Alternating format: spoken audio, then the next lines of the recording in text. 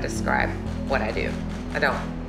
I really honestly don't. I feel like that that's why I'm a photographer is because I don't feel like I can describe what I feel or think when I look at a person in words.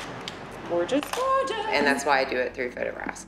So, you know, my perception of you is how I photograph you.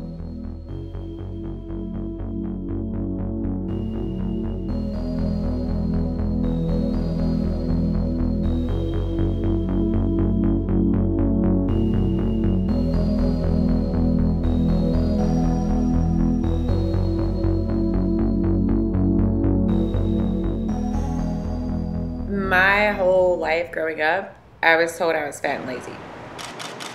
Now, from here, just bring this arm. When I was younger, let this arm I didn't feel beautiful. Um, I was overweight. I was always sick and in hospitals. Um, and my sister was really beautiful. She was the blonde model kind of type. Um, and I didn't, I couldn't figure out why I wasn't good enough for people to like me, why I wasn't beautiful enough. So I started looking for it in everybody's faces.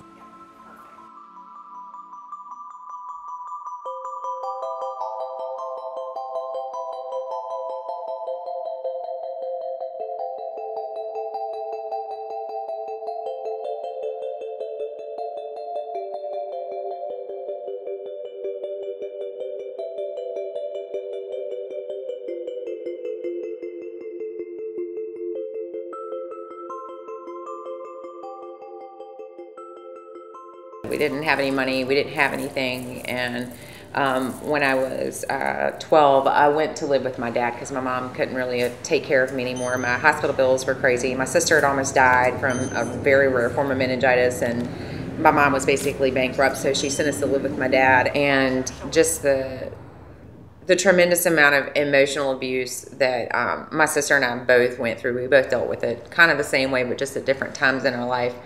Um, that probably caused me to rebel the most. Beautiful. Look at that.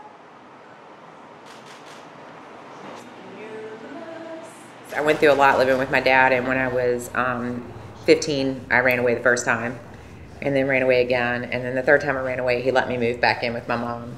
So I moved back in with my mom, and that's when I kind of really went crazy and got involved in a lot of drugs and a lot of partying and a lot of boyfriends and girlfriends, and but I was definitely um, a rebel. I had a lot of mental health issues. Um, I tried to kill myself three times um, from the time I was 13 to 18, 19.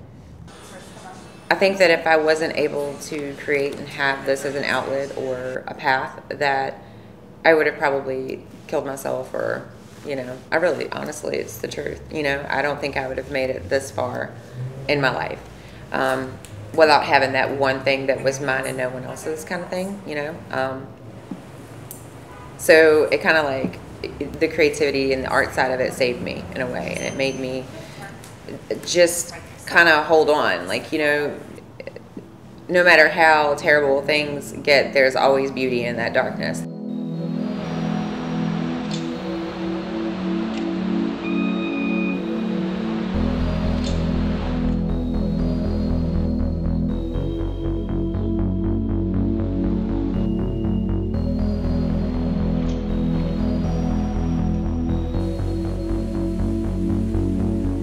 I've shot people inside of dumpsters and created beautiful portraits of them. So I just think that no matter how horrible my life ever got, like I could always create something beautiful out of it.